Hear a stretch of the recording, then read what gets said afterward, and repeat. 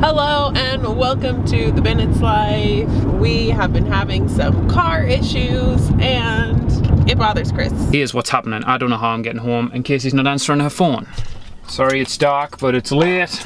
Here goes. The key is in. It's meant to start right now. What the hell is this?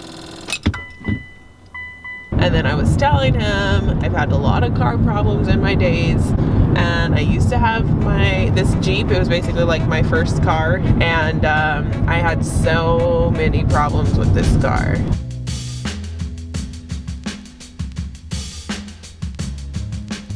So it obviously when you first get a car there's not problems. It's a little bit later down the line. But I did have a problem shortly after getting this car and it wasn't so much the car as it was me and I might have accidentally maybe closed my eyes for a little bit and fall asleep on the wheel on the highway. Me and my friend were driving back from Arizona. We were on the freeway. I had not slept that night. It was early in the morning, maybe like at four or five, six. You know how when like you're like zoning off and my friend was sleeping, but like she was exhausted too. Anyways, I didn't like hit somebody, but I just kind of like drifted into the other lane.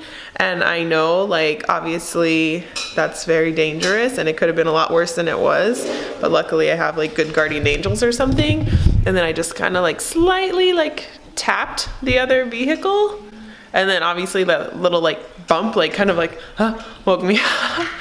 And then I just kept driving. Flash forward 30 miles and I'm at the gas station and all of a sudden I get surrounded by like three or four like Texas state troopers. And I'm like, oh gosh. And they were like, excuse me, you were involved in a hit and run. No, I wasn't involved in a hit and run. They're like, yeah, they were like, couple pulled over, they called us, they gave us your plate and your car description and you need to come back with us. So I had to like follow, they like front and back followed me all the way like 30 or 40 miles back to where the incident happened.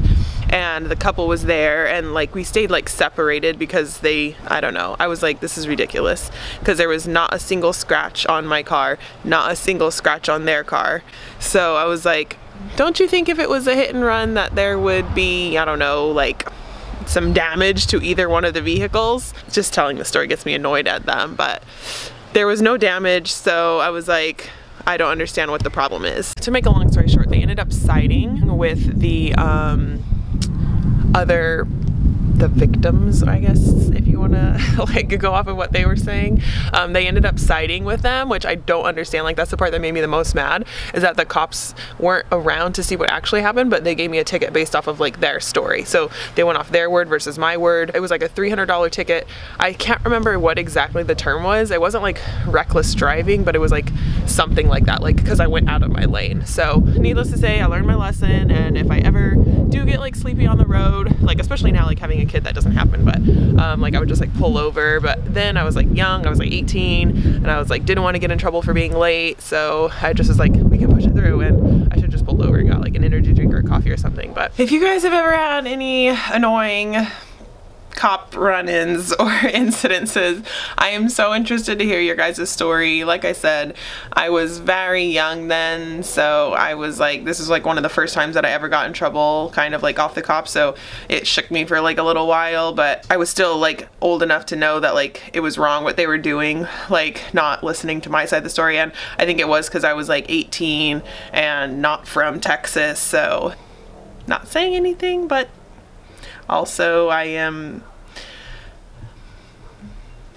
I don't know how to put this, but you know, like I'm not I don't I didn't look like the other people. Like I was, you know, have some color to my skin and some texture to my hair. So, not saying it was that, but who knows. Um yeah.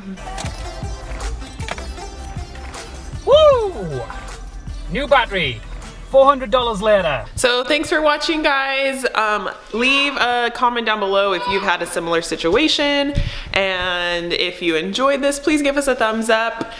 And we will see you guys tomorrow. Thanks for listening and don't forget to subscribe. Ciao.